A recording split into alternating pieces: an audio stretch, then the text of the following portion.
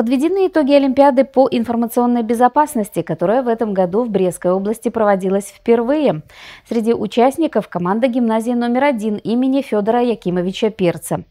О своих впечатлениях от участия в Олимпиаде и о том, какое в итоге место смогли занять пинчане, вы узнаете из нашего следующего сюжета.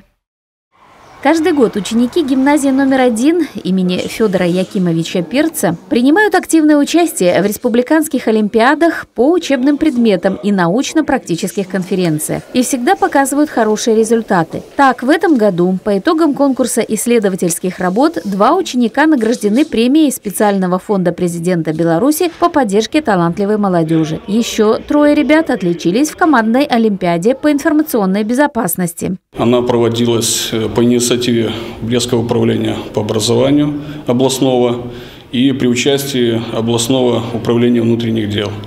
Значит, э, в преддверии Олимпиады проводились в каждой школах э, недели э, компьютерной безопасности, информационной культуры. Также проводились классные часы по этой теме. Ну и Олимпиада проводилась в два этапа.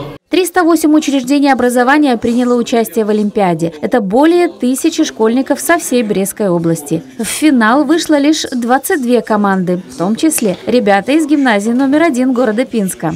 Цель этой Олимпиады – это повышение компьютерной грамотности, информационной культуры, э, правильное поведение в сети интернет.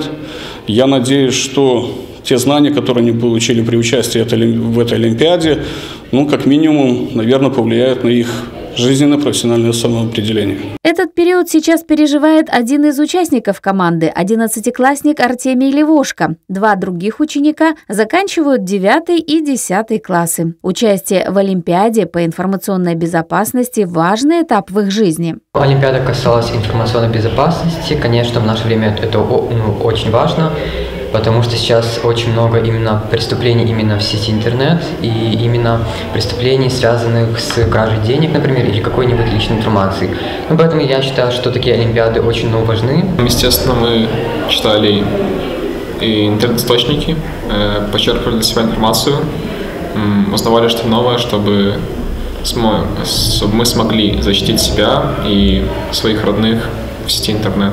Были вопросы с различные ситуации были по типу, если у вас украли карточку, что нужно сделать, или если у вас э, поменяли, поменяли пароль от почты, как нужно правильно восстановить почту и чтобы больше этого не произошло.